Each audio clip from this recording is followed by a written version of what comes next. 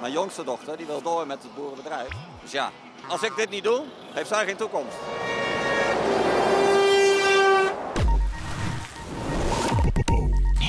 Al dagenlang hier bij de A16 staat er een boer in zijn eentje te demonstreren.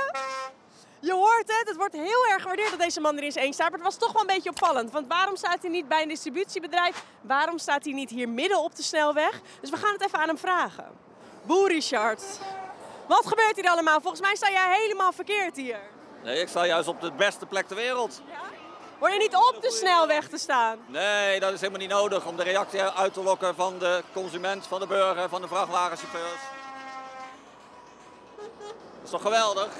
Je staat hier in je eentje, maar wat zijn de reacties die je krijgt dan? Ja, je hoort het hè. En mensen die stoppen met de fiets, met de scooter die over de Moerdijkbrug komen. En die steken je een hart onder de riem. Ja, dat is geweldig. Het is eh, verschrikkelijk wat er op dit moment gebeurt. Boerenbedrijven moeten opgewofferd worden voor wensnatuur. Ik geloof er niet in. En eh, ik vind dat we op een gezonde manier met elkaar het gesprek moeten aangaan. Kijk, die lege schappen, dat is ook om te laten zien waar het uiteindelijk naartoe gaat. Als alle boeren of een groot deel van de boeren verdwijnen, ja, waar halen we dan onze spullen vandaan? Dat zijn de reacties waar ik op wacht. Die we ook verlangen. Maar je wil positiviteit brengen. Ja, absoluut. Positiviteit. Met de ME en zo, vind je dat dan jammer bijvoorbeeld dat het op die manier gaat of juist niet? Ja, dat wens je die boeren niet toe. Die boeren strijden voor hun bestaan.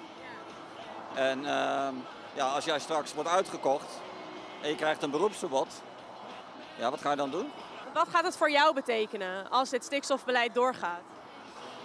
Wij eh, hebben ook last van een eh, natuurgebied, het Ulvenhoutse bos. En dat beïnvloedt onze bedrijfsvoering. En mijn dochter, die wil door, mijn jongste dochter, die wil door met het boerenbedrijf. Dus ja, als ik, niet, als ik dit niet doe, heeft zij geen toekomst. Steun de boer, daar gaat het om. Door spullen bij de boer te kopen of gewoon achter de boer te staan.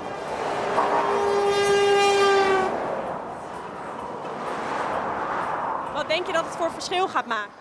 In ieder geval dat ze positief over een boer of de boeren gaan denken. Maar ik denk dat ze allemaal positief zullen denken over ons. Hey, en wat zijn die doekies nou? Wat is dit? Dat is het eh, teken dat je achter de boeren staat. Dus ik heb er voor jullie allebei ook een. Cameraman ook even omdoen natuurlijk, hè? Even omdoen.